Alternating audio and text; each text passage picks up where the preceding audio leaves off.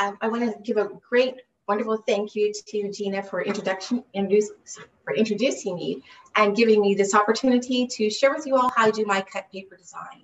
It really is a pleasure. It's a really detailed type of process to do, so I'm hoping that at least I'll get you started with doing one. And then if you don't finish, then you can finish it on your own. But before I go into that, as you know, this given workshop is called Mathematically Artistic and Then Some. Well, the reason why I call it and then some is because math and art, they just simply go hand in hand. And the and then some is the creativity element that we bring to it. So I'm going to ask you all just to simply let your spirits be free to go ahead and create whatever comes to your mind. I'm going to kind of walk you through some things, but you can use your own little essence to add to it at the same time. Before I get started with that, I wanted to show you also where you can also find art in different themes. For instance, this particular structural sculpture, I found that at one of our little local Hobby Lobby stores. And this gives you a lot of geometry in here. You have your circle in the middle, you have your cylinder, and at the same time, you've got all the other, it looks to be like kind of rectangular shapes and so forth. But this is just letting you know that there's tons and tons of art around about you.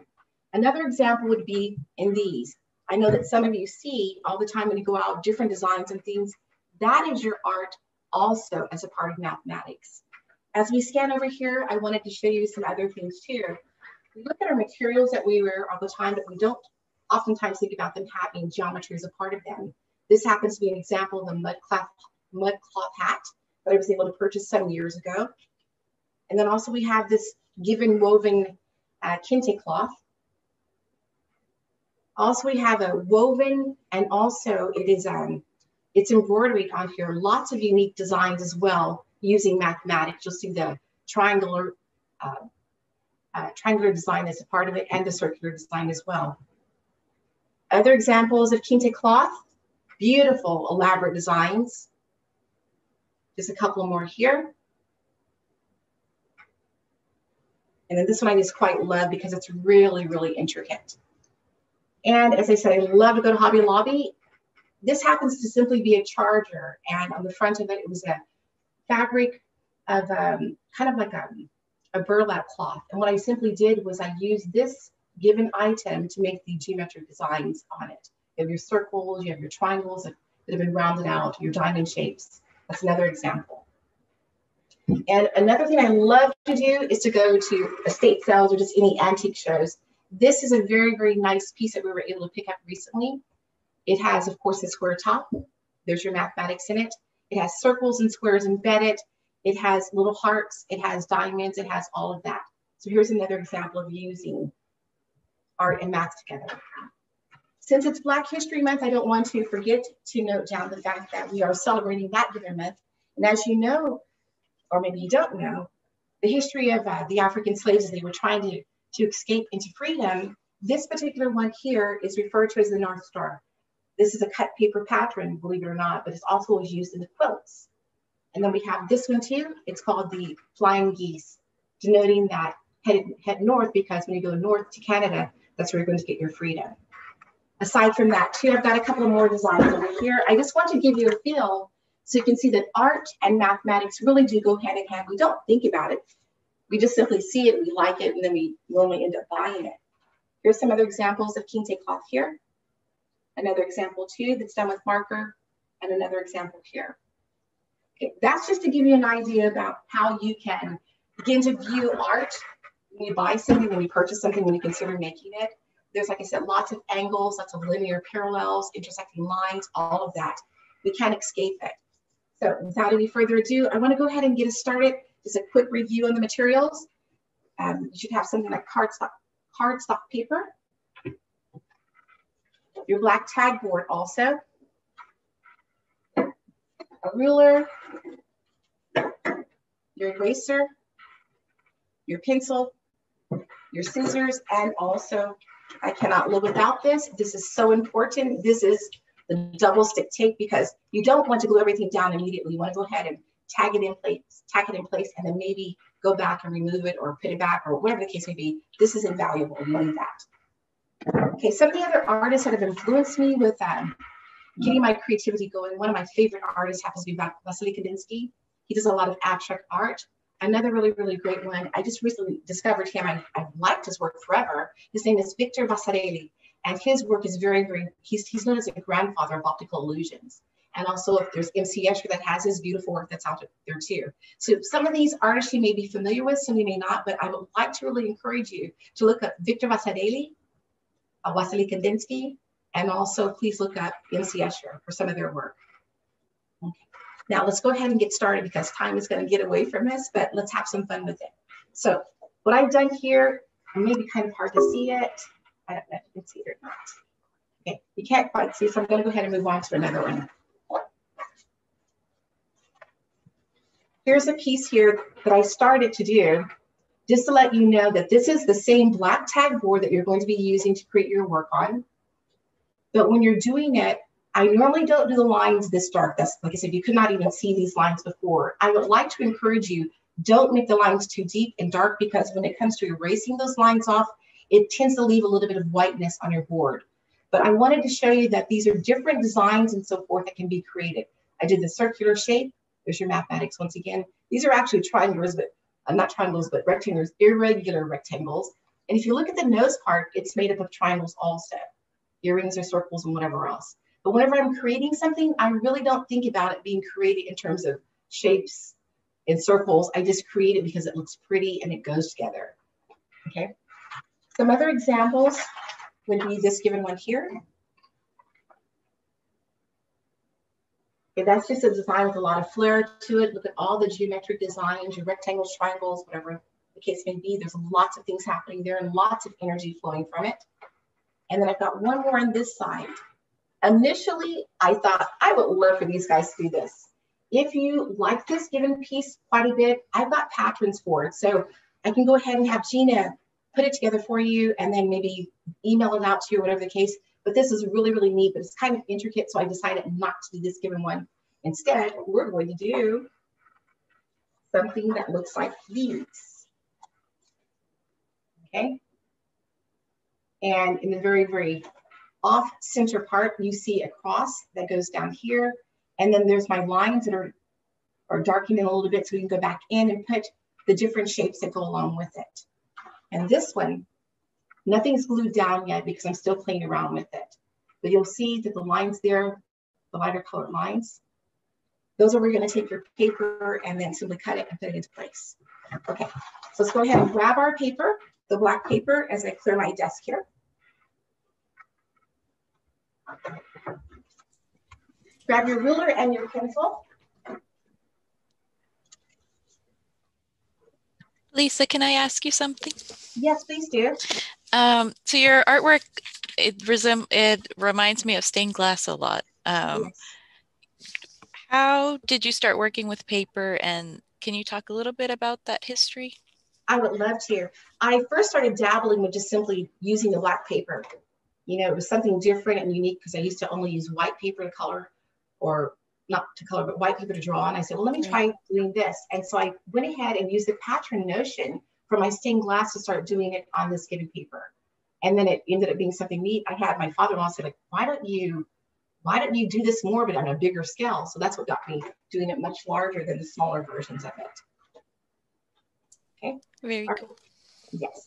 Here we go. With your paper, please, in hand, hold it vertically. And what I want for you to do is take your ruler, place it horizontally on your page, and you're going to measure over three inches. At the very top of your paper, make a three inch mark. Go down and make another three inch mark. You're gonna do three of these marks. It's hard to see it. And also I should have told you at the same time to make three and three quarter mark as well. So you have a three inch mark and a three and three quarter mark. Okay, that's going to be your vertical line that you're going to use for your cross. Please go ahead, turn your paper and line up those marks and connect them. Once again, don't make it too heavily dark because otherwise it's going to be hard to erase it later on.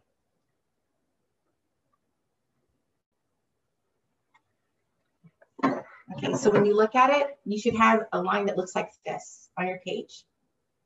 Continuing on, now take your paper, turn it horizontally. This time what you're going to do is measure approximately three and a half inches and four and one fourth. Once again, it's three and a half inches and four and one fourth.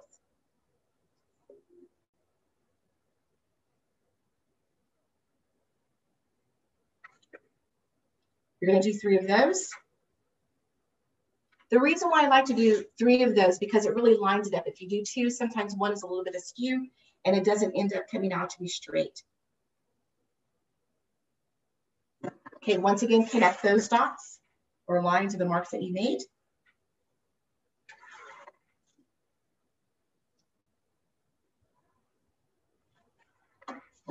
Okay, so now you have a structure that looks like this. You have a cross on your page okay? Now taking your paper, whenever I work with the paper, I tend to use a lot of colors. The reason why is because I want that contrast. I want the lights, I want the darks, I want the nuances between my greens and my yellows. And you'll see what I'm talking about here. So these are papers that I've already been cutting on. And I'm notorious for not throwing scrap paper away because you're gonna find that you're gonna need that paper, like that little baby strip or that little corner. So don't throw away any scrap paper because actually you can put it into your, your artwork and it makes it look really kind of neat. Okay, I'm gonna start off first by working on the vertical line that you see here, okay? And if you look at the colors that I've selected, when I talked about the difference in the, the greens and the, and the blues and whatever else, I like to have that variation of color because, like I said, it adds a certain richness. And even with my blues here, like a little darker blue, it's not much different, but whenever you put it together and side by side, it makes your, your whole image pop a little bit more. And I also, I love, my favorite colors happen to be, you'll see in most of my artwork, I love teal, this color, I just can't get away from it, and my yellows. I love yellows and oranges and reds, anything bright. So I'm gonna use these colors. So since we're doing the vertical side of our design, and I do know that it measures approximately, let me go back, I think it's about three fourths. Yes, it measures about three fourths wide. So I like to tell people to take the straight edge of your paper. You should have a straight edge because you haven't cut anything yet. So go ahead and measure three fourths on that one.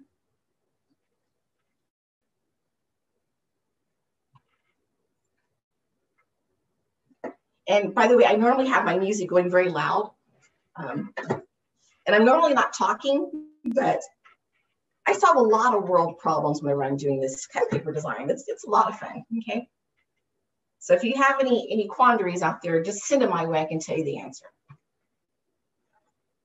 I'm just kidding. Okay, now with your paper and your scissors, your famous scissors. I have two different types of scissors, by the way, that I use. I love these little teeny scissors here. I don't know if you can kind of see them, but the the tip of it's very, very fine. And these I like because I can do broader cuts with it. We're gonna use these right now. So I'm gonna go ahead and cut this. And I normally do a lot of eyeing of things whenever I'm cutting.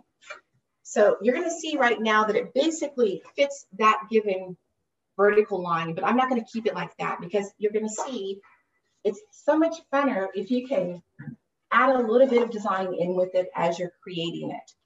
Like if you notice on this one, I decided to put an angle in there. And on this one, I put a, sort of a partial circle in with it. So once again, using your creativity and the colors that you want to put together, you can create whatever you want to create.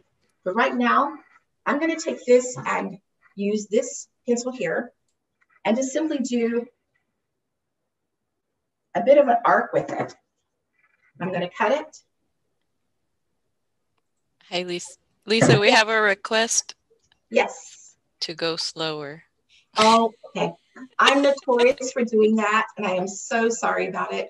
I, I wish mean, I were. We we only have so much time, but. yes, I wish I were in person with you. That way, I would go slower and I would be walking around. So thank you for that. I will slow down. okay, using this special tape, double stick tape. I'm going to go ahead and I normally put the tape in the mid section of it because I sometimes slide paper underneath it whenever I'm putting other pieces with it. So I just simply tape it in place like that. Excuse me. Now what I want to do is add a little bit of red with it. I'm trying to slow down. I'm sorry that it's going fast because I know that I'm kind of crunched on time here.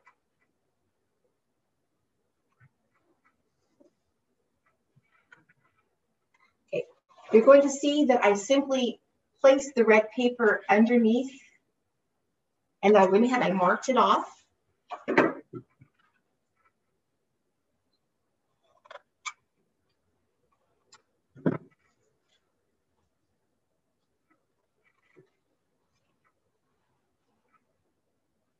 I marked it off. And now because it doesn't fit perfectly, excuse me, I'm going to take my pencil and the curvature part there, I've drawn the pencil mark there. It's kind of hard to see it, but I made a pencil mark on it. I don't know if you can see it or not. And now what I'm gonna do is cut that.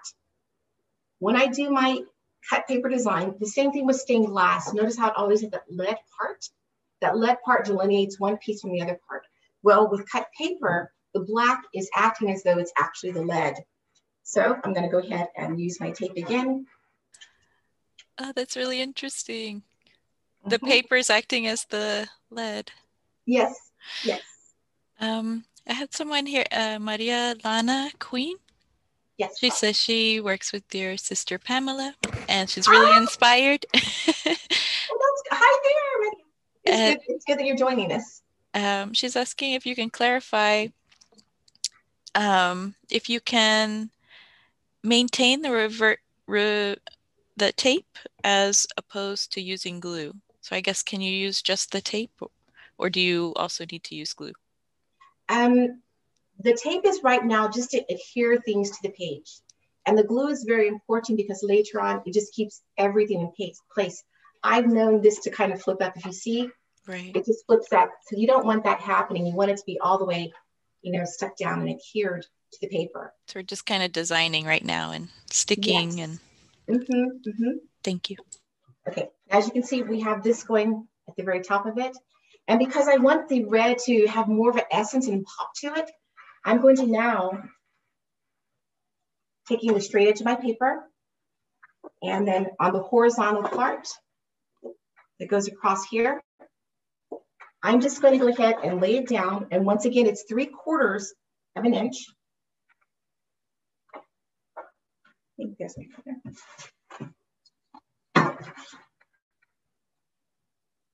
and I want that to be my central focus on the cross. So I'm just simply gonna go ahead and cut that. And I'm gonna put a little, a little curvature to this one as well. And you're gonna see that as you do the different cuts in your paper, it makes it, um, it kind of makes it sing and hum here. Like case in point back here. When I was doing some of these initially, you'll see that the designs, like they're straight lines, but then I kind of put other rectangulars and linear lines in with it, or a circle, and then on top of it, I put something else. Or with these linear lines, I put a curvature with it. So you don't have to feel stuck into just making your line straight. As I said, the curves kind of give it a bit of life and, a, and, and movement to the actual design itself. Okay, using this one that I just cut right now, I'm going to put it down. And like I said, I want it to, to move. So I'm going to put a, another little and it's going to go thinner.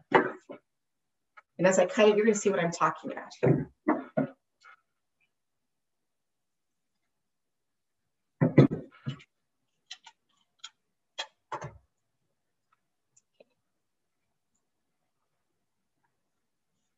Okay, do you see what's happening there? Not that I'm going to get rid of this part. I'll use it elsewhere in my design, but I just simply cut it away and it gives it a different feel. And because as I said, I want the red to be the focal part, I'm now gonna go ahead and have it overlap the midsection. And the piece that I just cut off, I'm now going to use it further down in my design. So now you have something like this going. And like I said, if I don't like that shape, which right now I'm not really feeling it a lot, I know I'm gonna come and cut that part because it's just not talking to me. So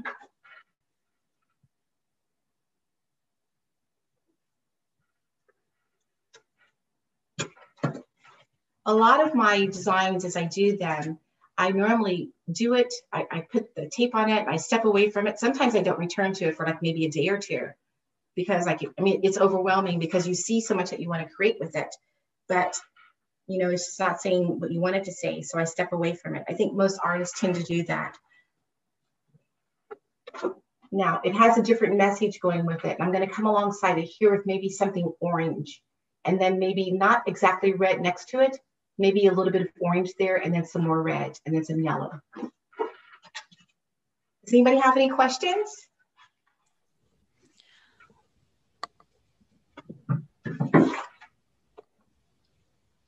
Um, Lisa, we have one of our instructors asking, yes. um, so the choice for paper opposed to the stained glass, is it, was it because um, the equipment to do the actual stained glass is prohibitive? Um, no. Um, I stopped doing stained glass when I became pregnant. That was some years ago. And the reason why is because the lead, um, at that given time I was using lead and that lead is not good for your unborn child. And so I stopped doing the stained glass.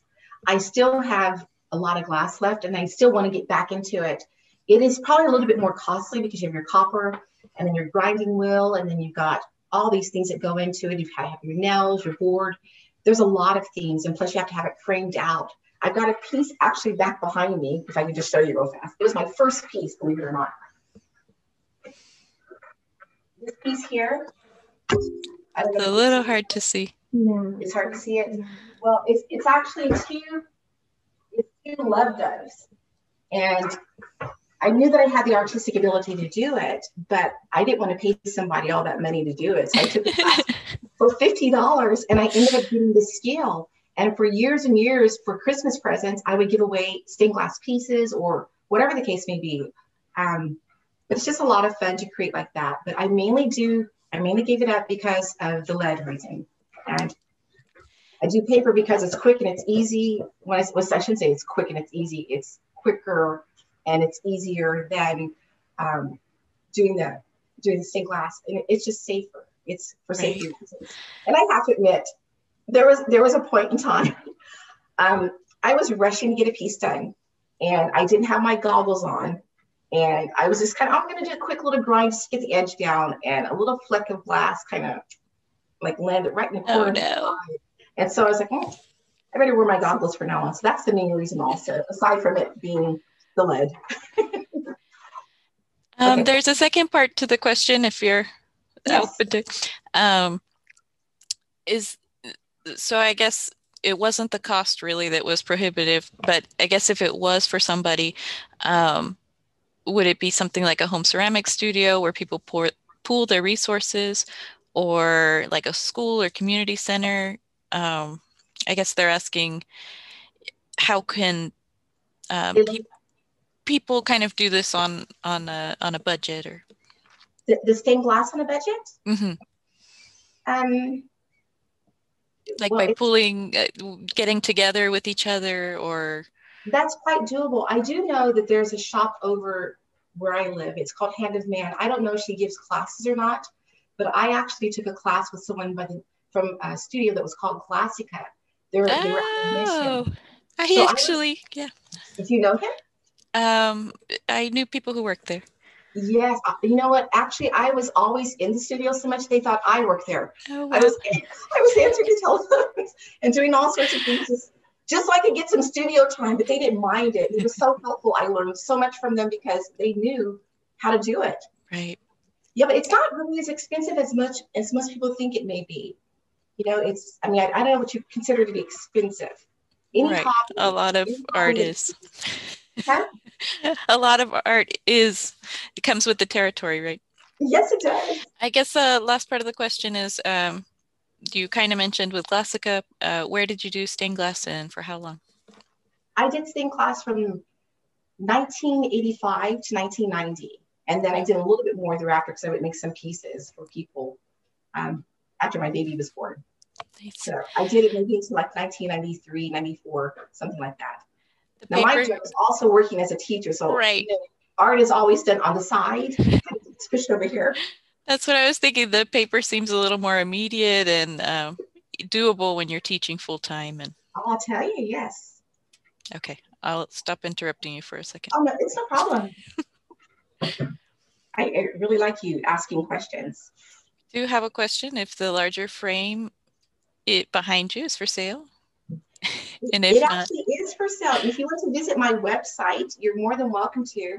It's uh, Lisa Irby Art, and it is for sale. Um, check it out. it looks, beautiful in your home. I really had the privilege as of late to to to gift my sisters with some of my artwork, and I, you know, I've always given them things because I just love them so much and everything. But these these sisters are so dear to me, so I gave them. Um, one was called The Essence of Beauty. It's actually on the website, and the other one is um, oh gosh, the name's slipping me right now. Ah, I can't remember right now. Oh, do you remember the name of it? Anyway, I, I gave those to them because they it, it, spoke to them. One of them actually looks like one of the, the, the art pieces. That's why she got it. And the other one, it was because it was it was um, her time for retirement, and this was kind of symbolic of her next steps. You know, oh, where she's going to be journeying. So very nice. Here's what I've done so far. You can see where it's kind of taking up and picking up a little bit of energy. And I still feel like I want to put other something in here as well in this red part of it. Like I said, I put the stickiness on the back of it because if I don't like it, I can always go back and cut it out and change it up. Okay, so let me go ahead and move forward to a couple that are almost done. Okay, let's look at this one. This one's almost done. So what I want to show you right now is how I block in the larger pieces of it. Okay, and as you can see, it has multiple colors. I think at least seven or eight colors that I have going here. So I'm going to to me, I'm examining it to see like what color do I want to, to speak to me. And I think I need something green and vibrant. So I'm gonna choose this piece. And when I do it, because it has the straight edges all already in place, I'm going to go ahead and just line it up with that edge.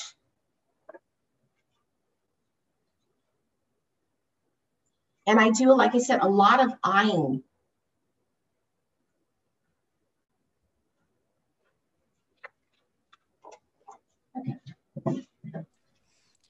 When you sent the images um, through email, yes. gorgeous, but I had no idea how beautiful they were until we were hanging them. And th- there's just so much texture to them. And I can't even explain it, but they're beautiful. And then some of the, I remember you telling me that um, some of your acrylic paintings, they start as um, just ab- abstract expressions and then slowly yes. they form into these ideas and yes. and then i saw you took some of those and incorporated them into the cut paper designs so it was like even a step further it was so beautiful thank you i, I really enjoy creating things um, a lot of my inspiration comes from from my belief as a christian my like this, the inspiration behind this one that you have, I have behind me, it's there's a cross in it. And you'll see there's a lot of symbolism with my artwork because I feel like there's this message that I need to share because it's so much a part of who I am. I know in this day and age, a lot of people are like, oh, no, don't talk about, well, it's who I am. This is really who I am. And my art speaks to the heart of who I am, which is I love Jesus Christ. And so this particular piece, as you see here, when I started doing it, it was supposed to be these quadrants. There was a quadrant here, a quadrant there, and there, and there. So it's going to be four across, another four, another four, and another four. And I had to step away from it because it was it was overwhelming to me because this I just can't do this thing. I, I don't want to do it.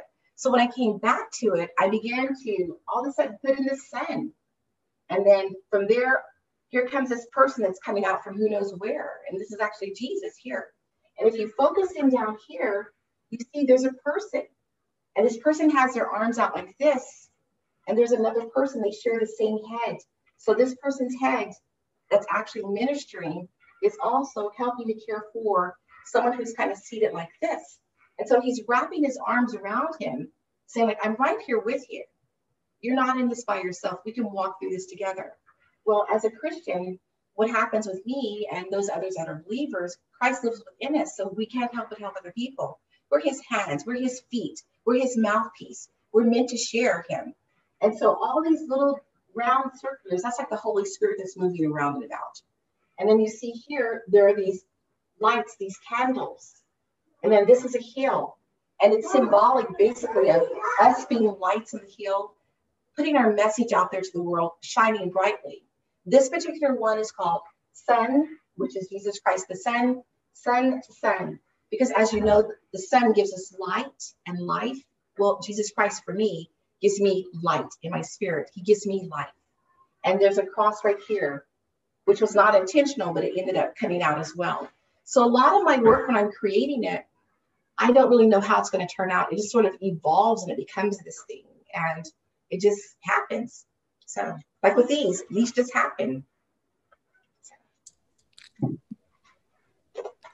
It's really neat. Thanks. I love the intuitiveness of it and um, a message kind of working through you. It's such a um, I don't think that can be taught, right? well, I, I guess. Well, I think I think all of us have it in us, but are we listening? I think we can do it. Yeah. We just have to kind of step back and get away from ourselves long enough to, to see what's what's going to come out of us. We've got a voice, but what is that voice saying to us? Is it giving positive stuff, negative stuff? I choose to, to believe that I want that positive voice. I've got a lot to share. And my artwork is one way that I go about sharing it. By the way, speaking of being a little bit too close, it's kind of hard to see, but here it's too close. You can't even see the delineation. And I want it, I want it to show up. So I'm going to now go back in and trim it off. And you're going to see how it pops a little bit more because I'm trimming it.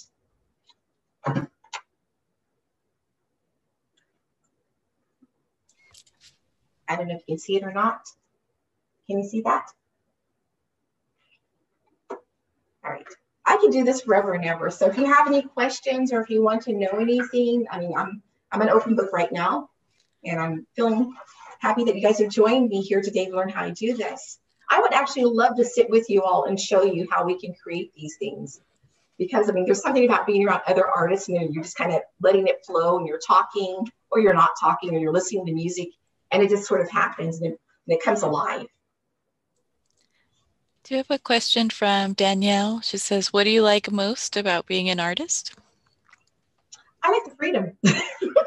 I like the freedom because, like, sometimes um, I'm fortunate to have a space in my house where I can I can go and I can work.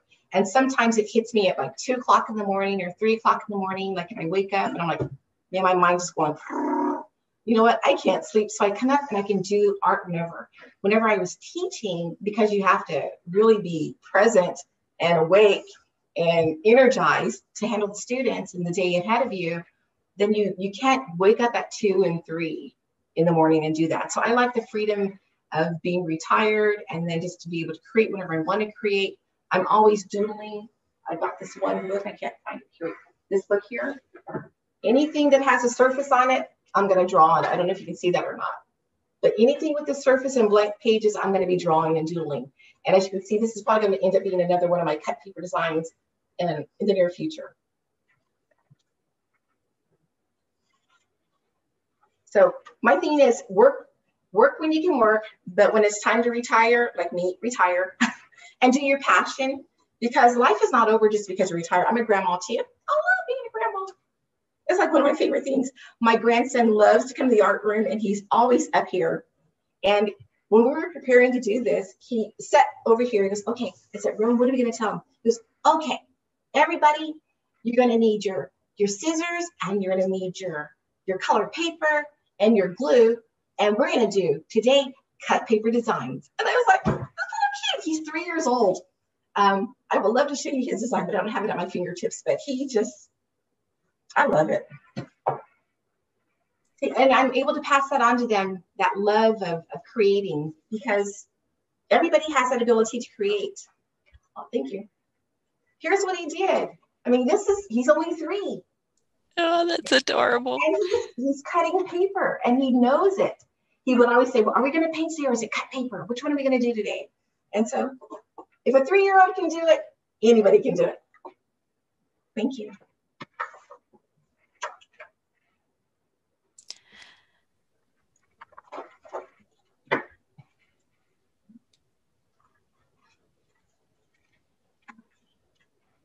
I wonder how their designs are coming along. Does has anybody given me any feedback? Are they trying to create something too?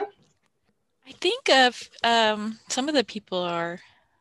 Um, well, tell me how's it going. So uh, from Taylor, they're asking, um, how do you? I think you mentioned this in the beginning, but they missed it. How do you plan out your cut paper design specifically? How do you start?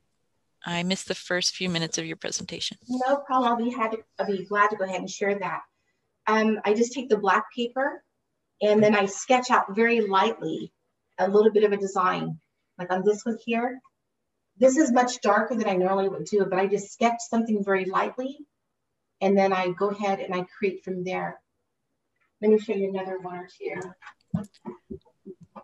Do these designs come from sketches or do you just out of my crazy, crazy imagination? Like, like this one, if you can, it's kind of maybe hard to see it. Can you see it? it's a young girl that's sort of a she's kind of playing around. There's a sun in there, always the sunshine. I believe in that light. And she's got her big hands out, like I'm here to help you. I love you. I don't know if you can see it or not.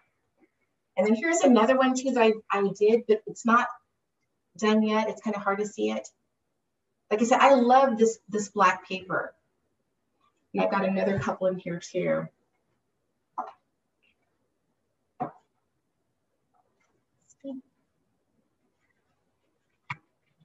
This one may be harder to see. I don't know. Can you see that one? This one I'm pretty sure I'm going to end up doing because I can see where I can put a lot of detail with it, overlaying the colors one on top of the other. And here's one more I wanted to show. Okay, this is a heart. Um, I think it's currently on display right now, if I'm not mistaken. Can you see the heart and then all the different little designs around it?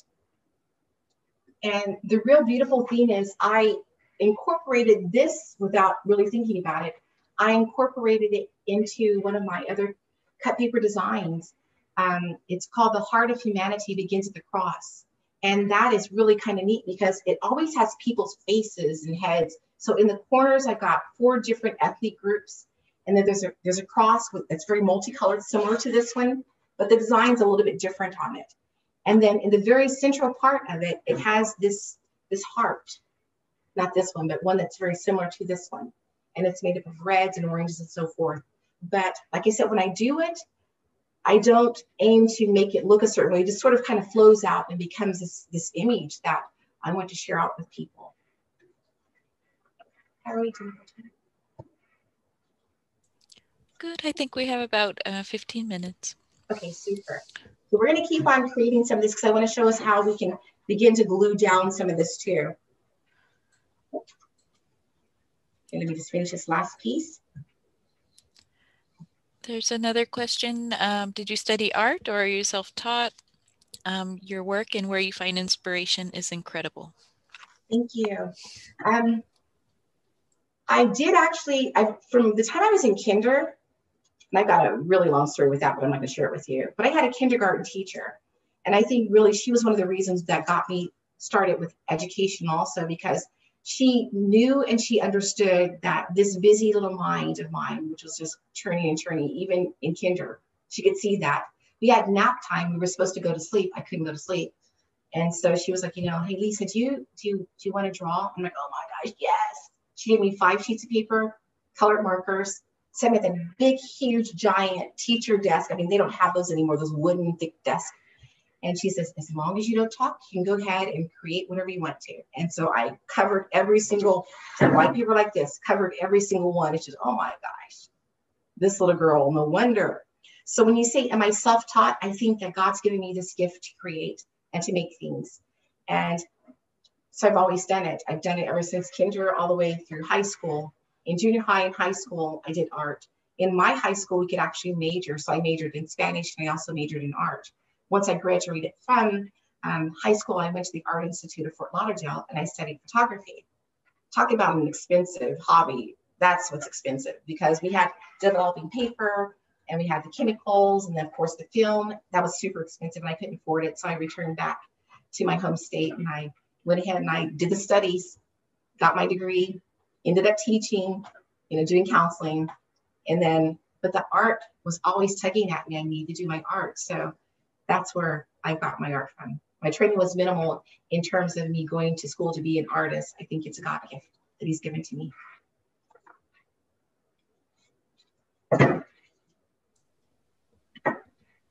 All right, we're gonna start gluing down some of this because I want to see how we Mod Podge it. Even though it's not complete, it's something for us at least you to see the process of once it's all completed. And I really don't like these big chunky things here. It feels like it needs something to be overlaid on it, but because as I said, time is kind of getting away from us, I want you all to see how the process actually goes. So moving this out of the way. The glue we're going to use, and you've got to be careful with your glue. I'm, I'm making a discovery as of late that the type of glue that you use, um, I use this because if you put it down, you can peel it back up. Some glue, you put it down, then the paper sticks to the paper. But this one tends to, if I put it down, I don't like it. I can take a little X-Acto knife and kind of scrape it and lift it up, and then I can then I can go ahead and, and, and replace it with something else. Okay, so when I do this, yes, please, whatever you do, remove this tape. I'm just gonna simply put it, I'm gonna put it on this. And with your glue, you don't wanna put too much glue because sometimes it oozes out.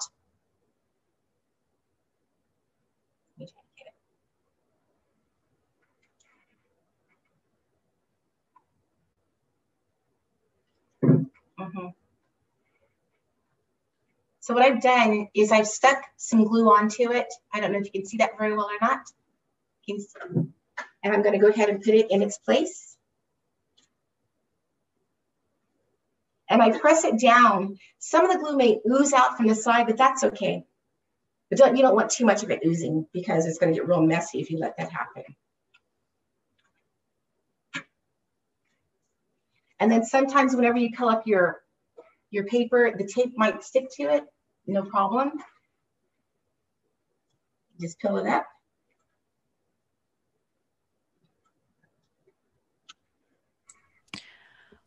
What kind of glue are you using? This is Elmer's No Wrinkle Glue. And I've had to actually order this online because unfortunately the hobby stores here, they don't carry it. So you get a better deal actually if you order it online too. And I normally get it in bulk. Sometimes four tubes or six tubes. They sell like in a little case like that for me. Um, but I don't know why they've not been carrying this glue, but I, I really like this glue a lot. It doesn't wrinkle the paper? Is that yeah, why? Exactly. But another question after doing um, about stained glass. After doing stained glass designs on paper, which do you enjoy more, stained glass or the stained glass effect on paper? I really like doing stained glass because you have to cut the glass, you have to break the glass, you have to shape the glass, and you've got to you have to grind it, then you have to foil it, and then you have to place it, and then if it doesn't fit, then you've got to go back and grind it a little bit more that process, it feels like I'm I'm putting more of me into it. I mean, I am doing it with this as well. But then you can put up that piece to the window and the light shines through it. There I go again with my light.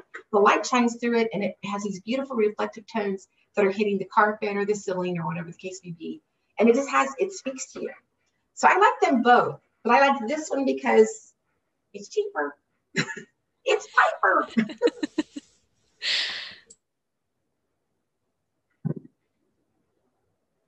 I wish I could see you all.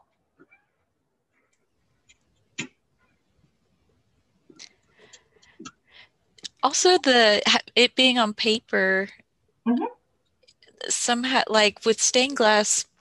I've no no we've thought about having like a stained glass exhibit, but you have to have a light box and you have to. Yes. Um, but for some reason, the paper it seems to like kind of emanate light you know why? I don't know if that makes sense. But. Well, I, I, would agree with you because once you put the Mod Podge on it, it it's it's kind of it makes the colors more vibrant. I mean, I don't right. know if you can see the difference between this without the Mod Podge. Right. It just makes it more rich, and um,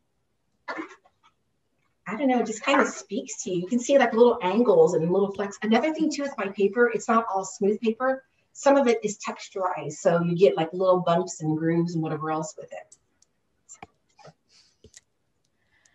Yeah, that was one of the nice things about seeing it in person, all the texture and mm -hmm. grooves and um,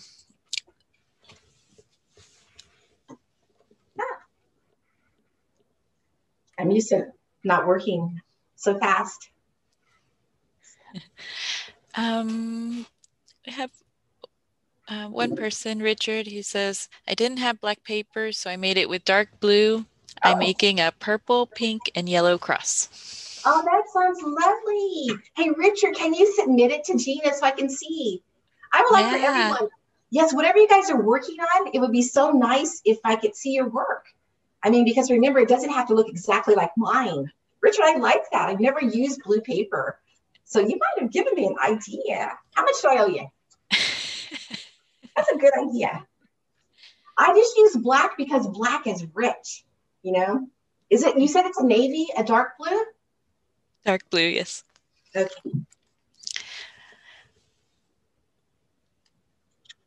And um, just a request if you could repeat drawing the, I guess, the the lines and the spaces outside of the cross, how you went about doing that. Oh, and then also, um, since you're creating as you go, how do you know when the piece is finished? Lisa, no, I'm just kidding. no, you know that it's done because remember I said I look at the piece and then I step away from it and then I go downstairs and maybe I come back a day later and I look at it, I'm like, mm, like it needs something. And then it, it's almost like the piece talks to you and it tells you, like, I'm done. This is, this is, you don't want to do any more because any more is going to, you're going to mess up the message. And so I just let the, the piece talk to me. Like this one right here, this is not done because I'm used to having more layers with it. Like in the yellows, it needs something more. Like I don't know if you can see this one or not. I put some little flecks in here of like a purplish color and then there's another purplish color. But I, I think it still needs a little bit more and I even want to bring it down into this space. So that's one thing you've got to think about with that you can do with paper that you can't do with stained glass because you can actually cross over lines. I don't have anything that's like like bubbled up or anything like that, but it crosses over and it's adhered to it but it makes it pop a little bit more. So that's kind of fun with it. Okay, what I'm gonna do, because I think that time is almost, um, yes, it gives it more dimension is what I'm talking about. Um, I hope that helped out a little bit, but they wanted to know how did I do the lines. Okay, down here, I just made chunky lines and I did it based upon the overall of the, it's like, it has a couple of designs within itself. It has the sun and then it has the cross. And I decided to just make the lines based upon those two given dimensions put together. And what I do is it just flows out from that main source. It's like a puzzle piece that's being put together. And you, it's going to talk to you, like I'm, like I'm telling you, it's, it's kind of weird when I say this is going to talk to you, but it says, mm, that fits or no, that doesn't work. And if it doesn't work because you're using your eraser, a light type of pencil, and you can erase it, you can sim simply erase it. And with the cut paper, if you don't like that shape, you can recut it. Okay. But I just simply just put the lines in to give me the energy that I wanted to have. And I keep talking about this yellow. Let me show you what I'm talking about, how it's going to transform that given shape.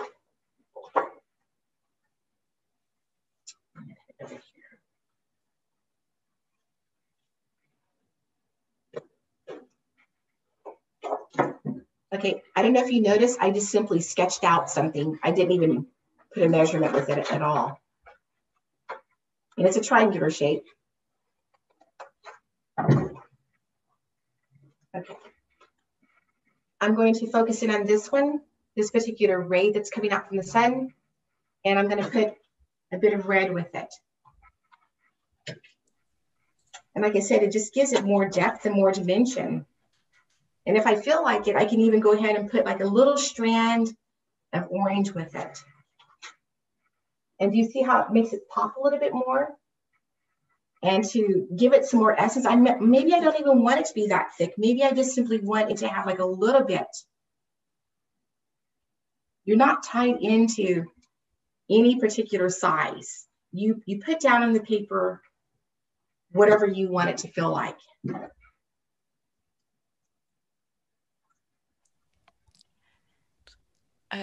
A, question Do you ever listen to music while you work? And if so, what are your favorite jams? Okay, Christian music, I love that. And I, I like jazz. I love to hear jazz. And then sometimes I hear like really like country music. um, whatever I'm in the mood for that day, I have a, I'm pretty eclectic when it comes to the music that I listen to. I don't do heavy metal and stuff because I just I'm not a headbanger. I just it makes my head hurt. You know, my kids laugh at me. Guitar music's too loud. Just, turn it down. Okay, please. Yeah. Look at the difference of this and the other. You can do that. You can do that design with it or that design with it. It just depends on what you want it to say. You can do it on all of those and then maybe come back in with another thicker piece on it as well. Okay, like I said, what I do want to do, because I don't know how much time we have going here, I want to show you how to Mod Podge it. Okay. Um, I like Mod Podge because it, it's it's uh, the one that I'm using is uh, the Gloss Luster.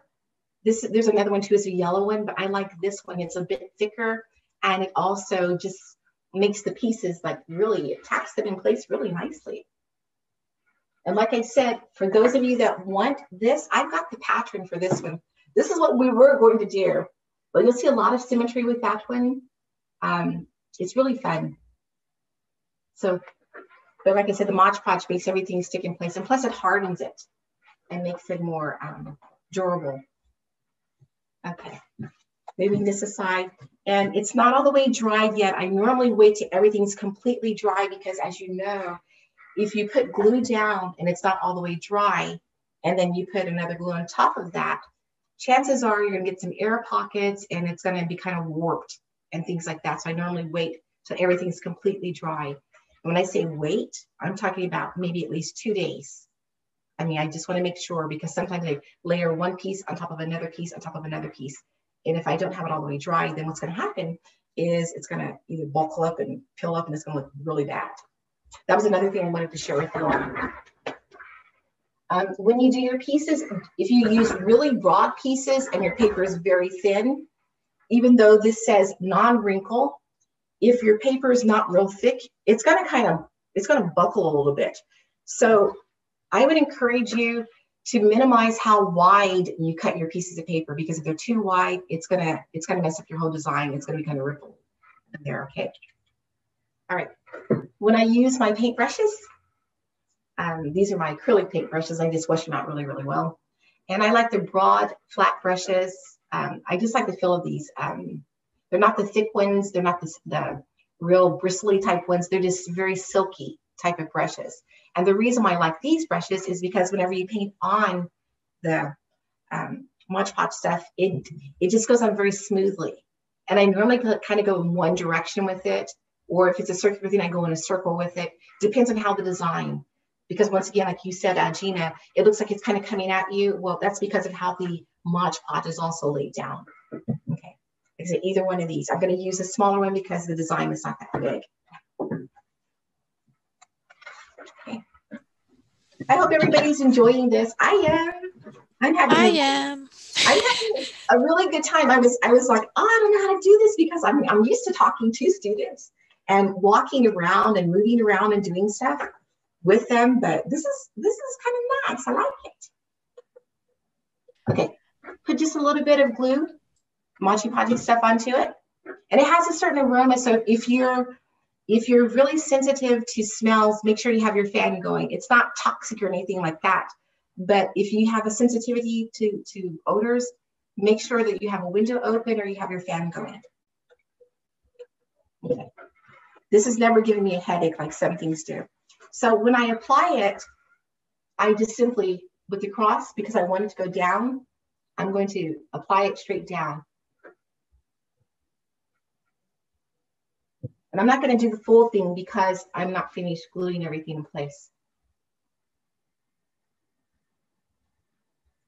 And maybe by the time we're done, I'm going to cross because then I'm gonna go back around it. And make sure that you get in between where the black is. I don't know if you can see that or not. Can you see it, everyone? Because I have a bit of a light here. Okay. And I'm going to lay it down so I can really make sure I have it all covered the way it needs to be covered. I know I did some of the green, so I'm going to do this. And if you put this on too thick, you're going to see um, a 3D effect with it. So you don't want it to be too terribly thick. I don't know if you can see that Can you? And then you're going to let it dry, and then it becomes something that looks like one of these that you see here. Okay, when it comes to circles, beautiful. I just, yes. Oh, I just said beautiful. Thank you. Yep. when it comes to circles, um, my circles aren't perfect, but I, I like to do circles. This one young lady that I'm working on creating here, here she is. It's a necklace type thing. And I'm gonna go ahead and continue that pattern of the necklace. And it just feels like it needs to have, I'm gonna go ahead and do a yellow to continue somewhat of a pattern, but it's not gonna be a full pattern because I'm gonna put something else on top of these. And it might be a circle that's kind of off to the side. So when I do my circle, I just kind of eye it, take my paper, create the circle more or less the size I think it should be. I can see that or not. Lisa, technical question. Can you use yes. spray Mod Podge? I've never used spray Mod Podge. I think it's like with anything that you spray on, make sure that it's not too thick and gunky. Like whenever you spray paint on certain things, it kind of starts to drip. So I've never, I've never used spray Mod Podge. They sell that? Or maybe she's asking, um, like maybe you can make it like a varnish or something. Yeah. DIY Mod Podge. um, okay. I have a question. Or sorry, yes. we Maybe are almost yes. out of time, but okay. You talk. I'm just trimming this. I'm just trimming this down. Like I said, it's not perfect. I just go around the circle and I can always like fix up a little bit later on. And I'm gonna put it right in place there.